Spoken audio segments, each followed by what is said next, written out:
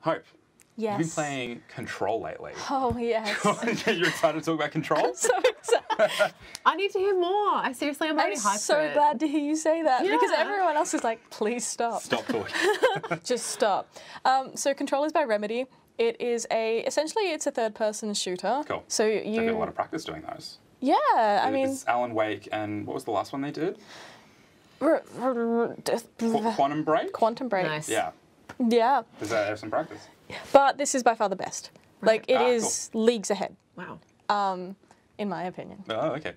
So it starts out, and you essentially find uh, what they call the service weapon, which is your gun. And it all starts out very ominously. You're in what they call the uh, the oldest building, the oldest house. It's One an, of those it's things. an old building. But it's magical. cool. It's magical. So you go in there, and it's, it looks like an, an old sort of office building. It, it looks very government, very very clean, very clerical. And you walk through, and things aren't right.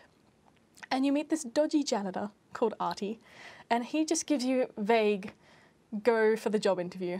And you're like, what? I'm looking for someone. What? And then you, you go into the manager's room for the job interview, and what you find there is a man who's blown his brains out. Oh, Mad. Oh, good. Oh good and start. the service weapon, so this gun laying on the floor.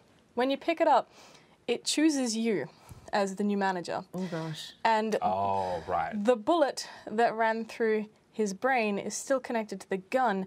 And through that bullet, it picked up his final memories, and that helps guide you as you play the game. Yes. So Great synopsis. conceptually, Thank you so Control much. is incredibly interesting. Mm-hmm.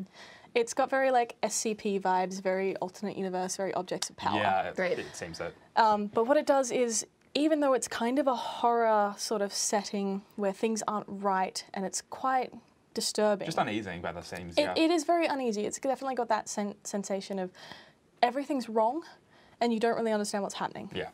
And what you you'll go into new areas and you'll see that the architecture itself has been split, and it's um, maybe there are like Escher style stairs up the walls and things like that. And you purify those areas and turn them more into what they should be, but it still doesn't feel right. And something I really enjoy about it is the concept of objects of power. Right. So the, one of the first ones you get gives you your abilities, which is what makes Control so fun. So the gunplay is okay, and you can modify your gun to be different kinds of guns, which is interesting in itself. But where it's actually fun is that you get abilities. Okay. So the first one that you get is called Launch, and it's essentially like a telekinesis where you lift things up and throw them at people. Okay, like cool. Star Wars. Yeah, you, you have the Force. Okay, But the way you get the Force is you find this corrupted item, which is a floppy disk, and it's from back when people feared nuclear war intensely. Mm. This floppy disk had the launch codes for Russian missiles. So the collective fear of humans of the ability to launch has given this floppy disk the power now to launch. Okay, Hey. right. So it's all about infusing items with belief and allowing different dimensions through and things like that. Can I ask what kind of enemies are we fighting in this game? So what you're fighting is a an unpleasant resonance. So it's kind of like this sound that's distorted and it may not be from our dimension. It's called the hiss. And what that relates to in a, in a gameplay term is it takes over the people that are in the office buildings, Right, okay. essentially. So most of the enemies are humans that look fairly normal. You get a couple that are really distorted though. So like some of the enemies might fly. Uh, Got like full prototype on you, I guess. Kind of. Yeah. Like, and they look alien. Like, there are regular human looking ones, but there are ones where their guts are out and things like Nice. that. And you don't necessarily notice it until you get really You're like- close to them. And You what's. see it and you're like, oh, yikes. Yeah, It, it has that awkwardness to it because you don't expect it.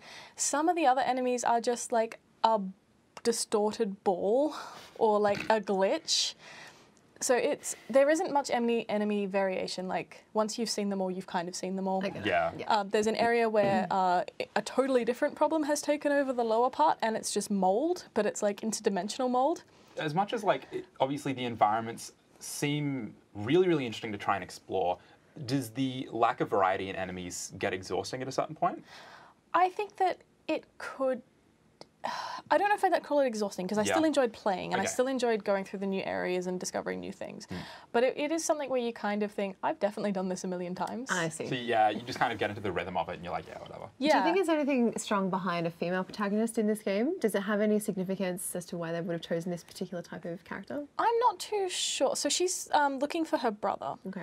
And in part of it, uh, when uh, it's brought up that your brother and yourself both have names that are unisex, and it never explores that properly, but it implies that at least someone out there had the idea that maybe you're the same person, I see. Ah, okay. or maybe you're interchangeable. okay. So it, it, it doesn't, I don't think it ever confirms or denies it.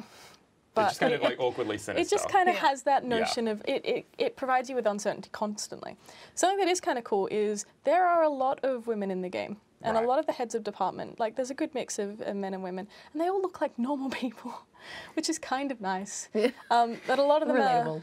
are, uh, uh, a lot of it's uh, taken from live footage as well, so they'll have like footage of the actual actors and things like that. Oh, okay. Ah, so there's a mix of like live action and like uh, motion capture. Yeah. Okay. Cool. And and that's part of why they look like real people because a lot of them happen to be real people. Yeah. people. Awesome. So yeah, it, it adds an element and it kind of works into that idea that things aren't quite right because you go between computer graphics and then real people I and things like that.